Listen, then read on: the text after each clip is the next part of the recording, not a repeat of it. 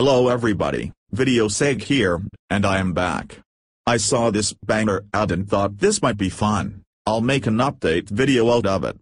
This is not my real voice as all of you probably know, they had a voice potion, so logically, I chose the one that sounded the most like Christopher Walken.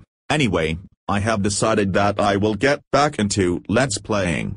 I tried several times before, but CamStudio would not record, but things have changed and I will be recording again.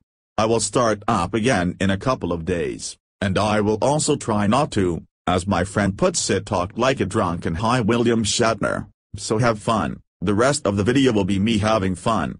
Smile. I am Christopher Walken.